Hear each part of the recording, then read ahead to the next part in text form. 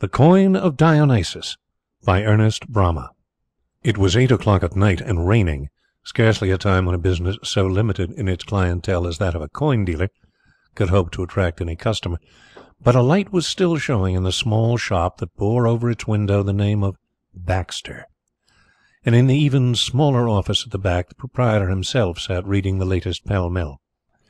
His enterprise seemed to be justified, for presently the door bell gave its announcement, and, throwing down his paper, Mr. Baxter went forward.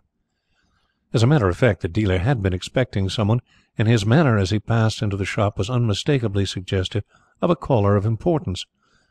But at the first glance towards his visitor the excess of deference melted out of his bearing, leaving the urbane, self possessed shopman in the presence of the casual customer. "Mr. Baxter, I think," said the latter. He had laid aside his dripping umbrella, and was unbuttoning overcoat and coat to reach into an inner pocket. "You hardly remember me, I suppose. Mr. Carlyle. Two years ago I took up a case for you." Oh, "To be sure. Mr. Carlyle, the private detective "Inquiry agent," corrected Mr. Carlyle precisely. "Well," smiled Mr. Baxter, "for that matter I am a coin dealer, and not an antiquarian or a numismatist. Is there anything in that way that I can do for you?" "Yes," replied his customer. "It is my turn to consult you." He had taken a small wash leather bag from the inner pocket, and now turned something carefully out upon the counter. "What can you tell me about that?" The dealer gave the coin a moment's scrutiny. "There is no question about this," he replied. "It is a Sicilian tetradrachm of Dionysus." "Yes, I know that. I have it on the label out of the cabinet. I can tell you further that it is supposed to be one that Lord Seastoke gave two hundred and fifty pounds for at the Bryce sale in '94." "Well, it seems to me that you can tell me more about it than I can tell you," remarked Mr. Baxter. "What is it that you really want to know?" "I want to know," replied Mr. Carlyle, "whether it is genuine or not." "Oh, has any doubt been cast upon it?" "Certain circumstances raised a suspicion, that is all." The dealer took another look at the tetradrachm through his magnifying glass, holding it by the edge with the careful touch of an expert. Then he shook his head slowly in a confession of ignorance. "Of course I could make a guess "No, no, don't," interrupted Mr. Carlyle hastily. "An arrest hangs on it, and nothing short of certainty is any good to me." "Oh, is that so, Mr. Carlyle?" said Mr. Baxter with increased interest. "Well, to be quite candid, the thing is out of my line. Now, if it was a rare Saxon penny or a double noble I'd stake my reputation on my opinion, but I do very little in the classical series." Mr. Carlyle did not attempt to conceal his disappointment as he returned the coin to the bag and replaced the bag in the inner pocket. "I had been relying on you," he grumbled reproachfully. "Where on earth am I to go now?" "Well, there's always the British Museum." "Ah, to be sure, thanks; but will anyone who can tell me be there now?" "Now? "No fear," replied Mr. Baxter. "Go round in the morning." "But I must know to night," explained the visitor, reduced to despair again. "To morrow will be too late for the purpose." Mr. Baxter did not hold out much encouragement in the circumstances. "You can scarcely expect to find anyone at business now," he remarked. "I should have been gone these two hours myself, only I happened to have an appointment with an American millionaire who fixed his own time. Something indistinguishable from a wink slid off Mr. Baxter's right eye. Offmunson he is called, and a bright young pedigree hunter has traced his descent from Offa, King of Mercia, so he quite naturally wants a set of Offas as a sort of collateral proof." Ah, "Very interesting," murmured Mr. Carlyle, fidgeting with his watch. "I should love an hour's chat with you about your millionaire customer some other time. Just now, look here, Baxter. Can't you give me a line of introduction to some dealer in this sort of thing who happens to live in town? You must know dozens of experts." "Why, bless my soul, Mr. Carlyle, I don't know a man of them away from this business," said Mr. Baxter, staring. "They may live in Park Lane, or they may live in Petticoat Lane, for all I know. Besides, there aren't so many experts as you seem to imagine, and the two best will very likely quarrel over it. Mm, you've had to go with expert witnesses, I suppose?" "I don't want a witness. There will be no need to give evidence. All I want is an absolute authoritative pronouncement that I can act on. Is there no one who can really say whether the thing is genuine or not?" Mr. Baxter's meaning silence became cynical in its implication as he continued to look at his visitor across the counter. Then he relaxed. "Oh, stay a bit. There is a man, an amateur. I remember hearing wonderful things about some time ago. They say he really does know." "There you are," explained Mr. Carlyle, much relieved. "There always is some one. Who is he?" "Funny name," replied Baxter. "Something Wynn, or Wynn something." He craned his neck to catch sight of an important motor car that was drawing to the curb before his window. "Oh, oh yes, Wynn Carrados. Uh, you'll excuse me now, Mr. Carlyle, won't you? This looks like Mr. Offmunson." Mr. Carlyle hastily scribbled the name down on his cuff. "Wynn Carrados, right. Where does he live?" "I haven't the remotest idea," replied Baxter, referring the arrangement of his tie to the judgment of the wall mirror. "I've never seen the man myself. Now, Mr. Carlyle, I'm sorry I can't do any more for you. You won't mind, will you?" Mr. Carlyle could not pretend to misunderstand. He enjoyed the distinction of holding open the door for the transatlantic representative of the line of Offa as he went out, and then made his way through the muddy streets back to his office. There was only one way of tracing a private individual at such short notice through the pages of the directories, and the gentleman did not flatter himself by a very high estimate of his chances. Fortune favoured him, however. He very soon discovered a Wynn Carrados living at Richmond. Oh, and better still, further search failed to unearth another. There was apparently only one householder, at all events, of that name in the neighbourhood of London. He jotted down the address and set off for Richmond. The house was some distance from the station, Mr. Carlyle learned. He took a taxicab and drove, dismissing the vehicle at the gate. He prided himself on his power of observation and the accuracy of the deductions which resulted from it, a detail of his business. "That's nothing more than using one's eyes and putting two and two together," he modestly declared, when he wished to be deprecatory rather than impressive, and by the time he had reached the front door of The Turrets he had formed some opinion of the position and tastes of the man who lived there. A manservant admitted Mr. Carlyle and took in his card his private card with the bare request for an interview that would not detain Mr. Carrados for ten minutes. Luck still favoured him. Mr. Carrados was at home, and would see him at once. The servant, the hall through which they passed, and the room into which he was shown, all contributed something to the deductions which the quietly observant gentleman was half unconsciously recording. "Mr. Carlyle," announced the servant. The room was a library or a study. The only occupant, a man of about Carlyle's own age, had been using a typewriter up to the moment of his visitor's entrance. He now turned and stood up with an expression of formal courtesy. "It's very good of you to see me at this hour," apologized the caller. The conventional expression of Mr. Carrados's face changed a little. "Surely my man has got your name wrong," he exclaimed. "Isn't it Louis Calling?" The visitor stopped short, and his agreeable smile gave place to a sudden flash of anger or annoyance. "No, sir," he replied stiffly. "My name is on the card which you have before you." "Oh, I beg your pardon," said Mr. Carrados with perfect good humour. "I hadn't seen it, but I used to know a Calling some years ago at St. Michael's." St. Michael's! Mr. Carlyle's feature underwent another change no less instant and sweeping than before. "St. Michael's! Wynn Carrados! Good heavens! It isn't Max Wynn, old Winning Wynn?" "A little older and a little fatter, yes," replied Carrados. "I have changed my name, you see." "Extraordinary meeting like this," said his visitor, dropping into a chair and staring hard at Mr. Carrados. "I've changed more than my name. How did you recognize me?" "The voice," replied Mr. Carrados. "It took me back to that little smoke dried attic den of yours where we "My God!" exclaimed Carlyle bitterly. "Don't remind me of what we were going to do in those days. He looked round the well furnished, handsome room, and recalled the other signs of wealth that he had noticed. "At all events, you seem fairly comfortable, Wynn." "I am alternately envied and pitied," replied Carrados, with a placid tolerance of circumstance that seemed characteristic of him. "Still, as you say, I am fairly comfortable." "Envied I can understand, but why are you pitied?" Oh, "Because I am blind," was the tranquil reply. "Blind!" exclaimed Mr. Carlyle, using his own eyes superlatively. "Do you mean literally blind?" Um, "Yes, literally. I was riding along a bridle path through a wood about a dozen years ago with a friend. He was in front. At one point a twig sprang back. You know how easily a thing like that happens. It just flicked my eye. Nothing to think twice about." "And that blinded you?" "Yes, ultimately. It's called amaurosis." I can scarcely believe it. You seem so sure and self-reliant. Your eyes are full of expression, only a little quieter than they used to be. I believe you were typing when I came in. Aren't you having me?"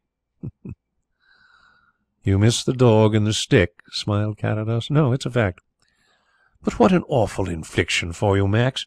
You were always such an impulsive, reckless sort of fellow. Never quiet. You must you must miss a fearful lot." "Has anyone else recognized you?" asked Carrados quietly. "Ah, that was the Voice, you said," replied Carlyle. "Yes, but other people heard the Voice as well. Only I had no blundering, self confident eyes to be hoodwinked." "That's a rum way of putting it," said Carlyle. "Are your ears never hoodwinked, may I ask?" "Not now. Nor my fingers, nor any of my other senses that have to look out for themselves." "Well, well, well, well," murmured Mr. Carlyle, cut short in his sympathetic emotions. I'm glad you take it so well. Of course, if you find it an advantage to be blind, old man. He, stopped and reddened. Oh, I, I beg your pardon, he concluded stiffly. No, not an advantage, perhaps, replied the other thoughtfully. Still, it has compensations that one might not think of. A new world to explore, new experiences, new powers awakening, strange new perceptions, life in the fourth dimension. Uh, but why do you beg my pardon, Louis? "Well, I'm an ex solicitor struck off in connection with the falsifying of a trust account, Mr. Carrados," replied Carlyle, writing. "Sit down, Louis," said Carrados suavely. His face, even his incredibly living eyes, beamed placid good nature.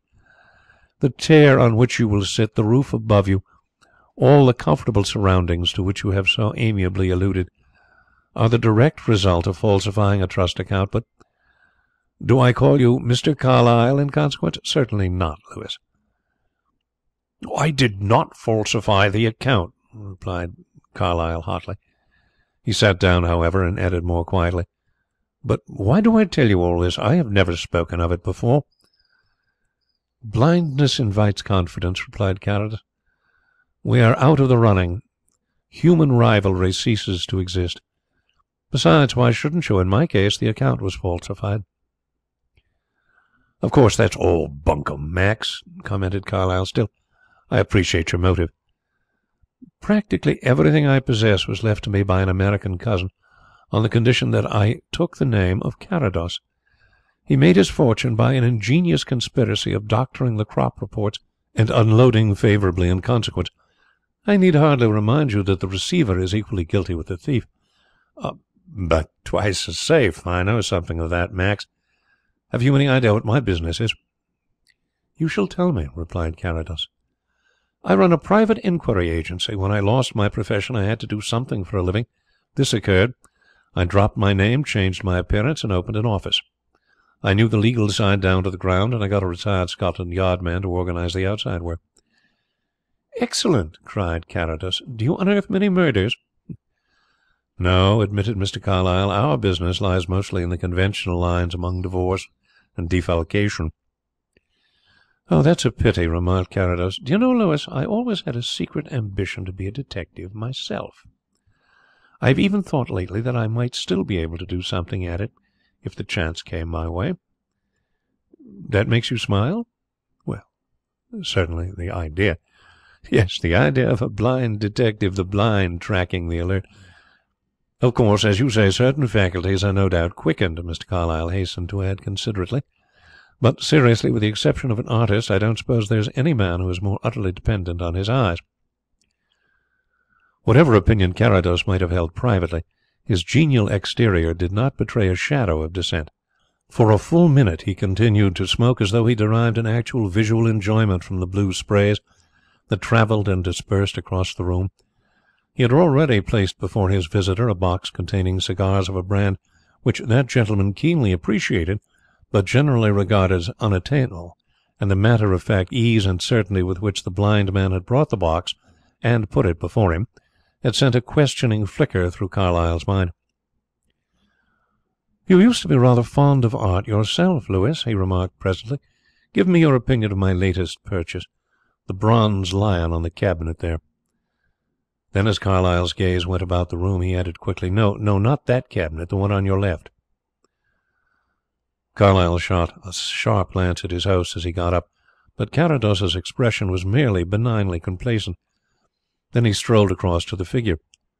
"Very nice," he admitted. "Late Flemish, isn't it?" "No, no. Actually, it's a copy of Vidal's 'Roaring Lion.'" "Vidal?" "A French artist." The voice became indescribably flat. "He also had the misfortune to be blind, by the way." "You old humbug, Max!" shrieked Carlyle. "You have been thinking that out for the last five minutes." Then the unfortunate man bit his lip and turned his back towards his host.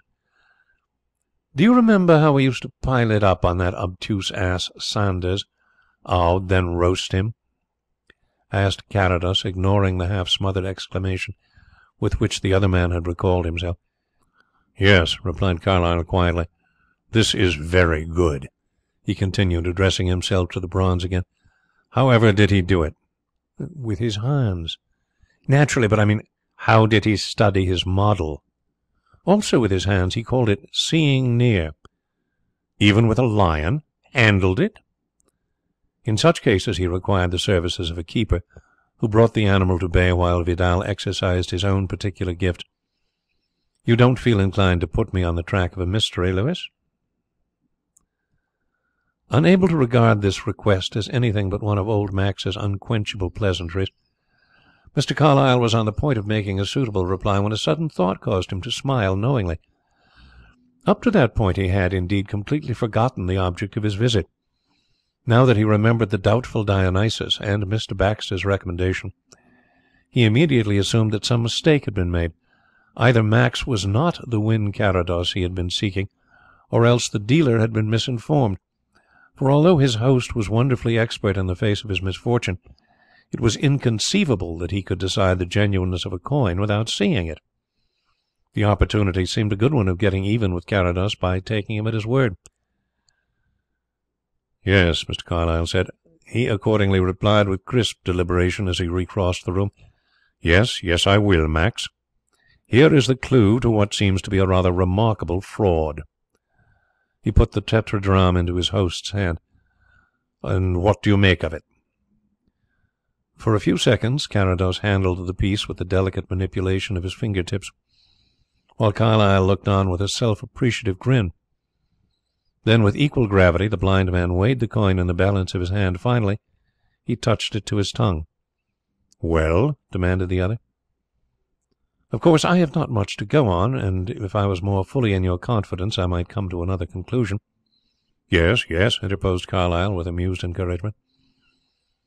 "Then I should advise you to arrest the parlour maid, Nina Brun, communicate with the police authorities of Padua for particulars of the career of Helen Brunesi, and suggest to Lord Seastoke that he should return to London to see what further depredations have been made in his cabinet." Mr. Carlyle's groping hand sought and found a chair, onto which he dropped blankly. His eyes were unable to detach themselves for a single moment from the very ordinary spectacle of Mr. Carrados's mildly benevolent face while the sterilized ghost of his now forgotten amusement still lingered about his features. "Good heavens!" he managed to articulate. "How do you know?" "Isn't that what you wanted of me?" asked Carrados suavely. "Don't humbug, Max," said Carlyle severely. "This is no joke." An undefined mistrust of his own powers suddenly possessed him in the presence of this mystery. "How how do you come to know of Nina Brun and Lord Seastoke?" "You are a detective, Louis," replied Carrados. "How does one know these things? By using one's eyes and putting two and two together." Carlyle groaned and flung out an arm petulantly. "Is it is it all bunkum, Max?" "Do you really see all the time, though that doesn't go very far toward explaining it?" "Like Vidal, I see very well at close quarters," replied Carrados, lightly running a forefinger along the inscription on the tetradrachm. For longer range I keep another pair of eyes. Would you like to test them?" Mr. Carlyle's assent was not very gracious. It was, in fact, faintly sulky. He was suffering the annoyance of feeling distinctly unimpressive in his own department, but he was also curious. "The bell is just behind you, if you don't mind," said his host. "Parkinson will appear. You might take note of him while he is in." The man who had admitted Mr. Carlyle proved to be Parkinson. "This gentleman is Mr. Carlyle, Parkinson," explained Carrados the moment the man entered. "You will remember him for the future?" Parkinson's apologetic eye swept the visitor from head to foot, but so lightly and swiftly that it conveyed to that gentleman the comparison of being very deftly dusted. "I will endeavour to do so, sir," replied Parkinson, turning again to his master. "I shall be at home to Mr. Carlyle whenever he calls. That is all." "Very well, sir." "Now, Louis," remarked Carrados briskly, when the door had closed again, "you had a good opportunity of studying Parkinson. What is he like?" Oh, "In what way?" "I mean as a matter of description. I am a blind man. I haven't seen my servant for twelve years. What idea can you give me of him? I asked you to notice." "I know you did, but your Parkinson is the sort of man who has very little about him to describe. He is the embodiment of the ordinary. His height is about average." "Five feet nine," murmured Carrados, "slightly above the mean." "Scarcely noticeably so. Clean shaven, medium brown hair, no particularly marked features, dark eyes, good teeth." "False," interposed Carrados. "The teeth, not the statement." Uh, "Possibly," admitted Mr. Carlyle. "I am not a dental expert, and I had no opportunity of examining Mr. Parkinson's mouth in detail. But what is the drift of all this?" "His clothes?" "Oh, just the ordinary evening dress of a valet. There is not much room for variety in that." "You noticed, in fact, nothing special by which Parkinson could be identified?" "Well, he wore an unusually broad gold ring on the little finger of the left hand." "Yes, but that is removable. And yet Parkinson has an ineradicable mole a small one, I admit on his chin. And you a human sleuth hound! Oh, Louis!" "At all events," retorted Carlyle, writhing a little under this good humoured satire, although it was easy enough to see in it Carrados's affectionate intention. "At all events, I dare say I can give as good a description of Parkinson as he can give of me." "Well, that is what we are going to test. Ring the bell again." "Seriously?" "Quite. I am trying my eyes against yours. If I can't give you fifty out of a hundred I'll renounce my private detectorial ambition for ever." Oh, "It isn't quite the same," objected Carlyle, but he rang the bell. Uh, "Come in and close the door, Parkinson," said Carrados when the man appeared. "Don't look at Mr. Carlyle again. In fact, you had better stand with your back towards him. He won't mind. Now describe to me his appearance as you observed it." Parkinson tendered his respectful apologies to Mr. Carlyle for the liberty he was compelled to take by the deferential quality of his voice. "Oh, let's see. Mr. Carlyle, sir, wears patent leather boots of about size seven and very little used. There are five buttons, but on the left boot one button, the third up, is missing, leaving loose threads and not the more usual metal fastener. Mr. Carlyle's trousers, sir, of a dark material, a dark grey line of about a quarter of an inch wider on a darker ground. The bottoms are turned permanently up, and are just now a little muddy, if I may say so." "Very muddy," interposed Mr. Carlyle generously. "It's a wet night, Parkinson." Uh, "Yes, sir, very unpleasant weather. If you will allow me, sir, I will brush you in the hall. The mud is dry now, I notice. Uh, then, sir," continued Parkinson, reverting to the business in hand, "there are dark green cashmere hose. A curb pattern key chain passes into the left hand trouser pocket." From the visitor's nether garments the photographic eyed Parkinson proceeded to higher ground, and with increasing wonder Mr. Carlyle listened to the faithful catalogue of his possessions. His fetter and link albert of gold and platinum was minutely described.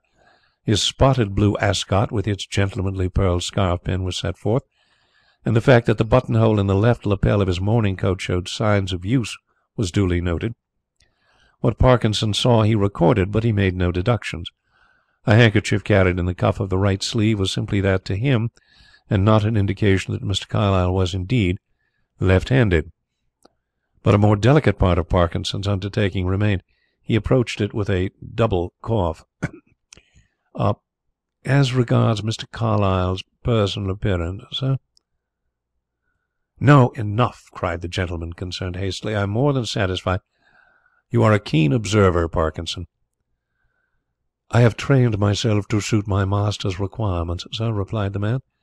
He looked towards Mr. Carrados, received a nod, and withdrew. Mr. Carlyle was the first to speak. "That man of yours would be worth five pounds a week to me, Max," he remarked thoughtfully; "but uh, of course "I don't think he would take it," replied Carrados in a voice of equally detached speculation. "He suits me very well. But you have the chance of using his services indirectly." Uh, "You still mean that seriously?" "I notice in you a chronic disinclination to take me seriously, Louis. It is really, to an Englishman, almost painful. Is there something inherently comic about me or the atmosphere of the turrets?" Oh, "No, no, my friend," replied Mr. Carlyle. But there is something essentially preposterous that is, what points to the improbable. Now, what is it?" "It might be merely a whim, but it is more than that," replied Carrados. "It is well, partly vanity, partly ennui, partly certainly there was something more nearly tragic in his voice than comic now uh, partly hope." Mr. Carlyle was too tactful to pursue the subject. "Those are three tolerable motives," Carlyle acquiesced. "I'll do anything you want, Max, on one condition. Agreed?" "Agreed." "And it is?" "That you tell me how you knew so much of this affair." He tapped the silver coin which lay on the table near him. "I am not easily flabbergasted," he added. "You won't believe that there is nothing to explain that it is purely second sight?" "No," replied Carlyle tersely, "I won't. You are quite right. And yet the thing is very simple." "They always are when you know," soliloquized the other. "That's what makes them so confoundedly difficult when you don't." "Okay, here is this one, then. In Padua, which seems to be regaining its old reputation as the birthplace of spurious antiques by the way, there lives an ingenious craftsman named Pietro Stelli. This simple soul, who possesses a talent not inferior to that of Cavino at his best, has for many years turned his hand to the not unprofitable occupation of forging rare Greek and Roman coins. As a collector and student of certain Greek colonials, and a specialist in forgeries, I have been familiar with Stelli's workmanship for years. Latterly he seems to have come under the influence of an international crook, called at the moment Dompierre who soon saw a way of utilizing Stelli's genius on a royal scale. Helene Brunesi, who in private life is, and really is, I believe, Madame Dompierre, readily lent her services to the enterprise." "Quite so," nodded Mr. Carlyle, as his host paused. "You see the whole sequence, of course?" "Well, no, not exactly in detail," confessed Mr. Carlyle. Dompierre's idea was to gain access to some of the most celebrated cabinets of Europe, and substitute Stelli's fabrications for the genuine coins.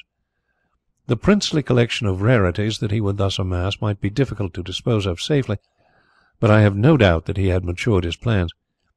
Helene, in the person of Nina Brun, an anglicized French parlourmaid, a part which she fits to perfection, was to obtain wax impressions of the most valuable pieces and to make the exchange when the counterfeits reached her. In this way it was obviously hoped that the fraud would not come to light until long after the real coins had been sold, and I gather that she has already done her work successfully in several houses. Then, impressed by her excellent references and capable manner, my housekeeper engaged her, and for a few weeks she went about her duties here. It was fatal to this detail of the scheme, however, that I have the misfortune to be blind. I am told that Helene has so innocently angelic a face as to disarm suspicion, but I was incapable of being impressed, and that good material was thrown away. But one morning my material fingers, which of course knew nothing of Helene's angelic face, discovered an unfamiliar touch about the surface of my favourite Euclides, and although there was doubtless nothing to be seen, my critical sense of smell reported that was had been recently pressed against it. I began to make discreet inquiries, and in the meantime my cabinets went to the local bank for safety. Helene countered by receiving a telegram from Angiers, calling her to the deathbed of her aged mother. The aged mother succumbed. Duty compelled Helene to remain at the side of her stricken patriarchal father, and doubtless the turrets was written off the syndicate's operations as a bad debt. "Very interesting," admitted Mr. Carlyle; "but at the risk of seeming obtuse" his manner had become delicately chastened "I must say that I fail to trace the inevitable connection between Nina Brun and this particular forgery, assuming that it is a forgery." "Set your mind at rest about that, Louis," replied Carrados. "It is a forgery, and it is a forgery that none but Pietro Stelli could have achieved. That is the essential connection. Of course, there are accessories. A private detective coming urgently to see me with a notable tetradrachm in his pocket, which he announces to be the clue to a remarkable fraud well, really, Louis, one scarcely needs to be blind to see through that." "And Lord Seastoke? I suppose you happened to discover that Nina Brun has gone there?" "No, I cannot claim to have discovered that, or I should certainly have warned him at once when I found out, only recently, about the gang. As a matter of fact, the last information I had of Lord Seastoke was a line in yesterday's Morning Post to the effect that he was still at Cairo. But many of these pieces" he brushed his finger almost lovingly across the vivid chariot race that embellished the reverse of the coin, oh, and broke off to remark, "You really ought to take up the subject, Louis. You have no idea how useful it might prove to you some day." "I really think I must," replied Carlyle grimly. "Two hundred and fifty pounds the original of this cost, I believe." "Cheap, too. It would make five hundred pounds in New York to day. As I was saying, many are literally unique. This gem by Kimon is oh, here is his signature, you see. Peter is particularly good at lettering, and as I handled the genuine tetradrachm about two years ago, when Lord Seastoke exhibited it at a meeting of our society in Albemarle Street, there is nothing at all wonderful in my being able to fix the locale of your mystery. Indeed, I feel that I ought to apologize for it all being so simple." "I think," remarked Mr. Carlyle, critically examining the loose threads on his left boot that the apology on that head would be more appropriate from me. End of the Coin of Dionysus, read by Mike Harris